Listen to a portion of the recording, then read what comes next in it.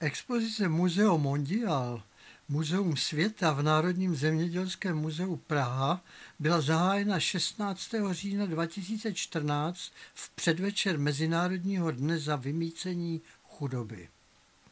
Představuje světové základní potraviny, jejich využití a zpracování.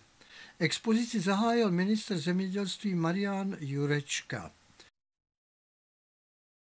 Tento drobný exkurs v rámci expozice eh, Národního zemědělského muzea si myslím, že pro návštěvníka eh, hodně zajímavý v tom, aby se podíval, vlastně, co všechno obnáší problematika potravin, jejího využití, eh, soběstačnosti potravinové, i toho, jaká část světa nemá dostatek potravin, kde se které potraviny vyrábí. Myslím si, že na docela malém prostoru se dozví docela hodně informací.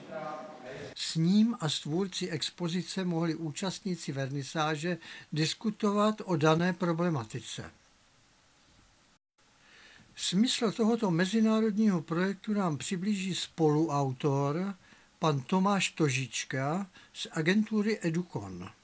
Ten projekt Muzeum Mundial vlastně zaměřen na to, aby intervenoval do muzeálních prostor, do výstavních prostor Eh, s nějakými eh, artefakty, které vlastně rozšiřují ten pohled eh, na ty výstavy, které už v tom daném muzeu existují. Protože jsme v muzeu zemědělství, tak ty naše intervence jsou zaměřeny především na potraviny, využití, využití energie rostlin, využití rostlin jako stavebního materiálu.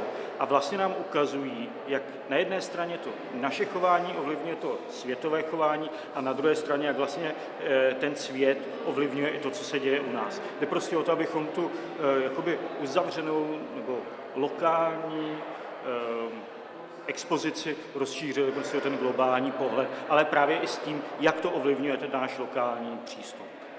Projekt v české premiéře představuje i několik fotografií z cyklu fotografa Petra Mencla Hladová planeta, co jí svět. Na příkladu předvádí rovněž ukázku spolupráce českých architektů s nepálskou komunitou při stavbě bambusové školy.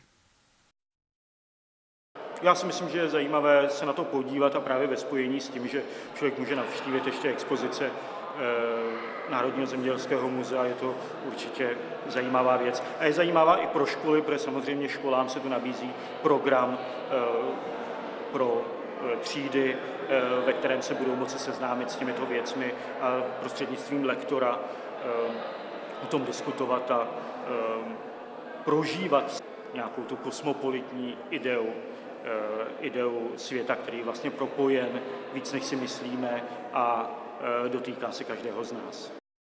Kromě této expozice nabízí Národní zemědělské muzeum v Praze i zajímavou expozici Venkov v proměnách staletí a další zajímavé výstavy.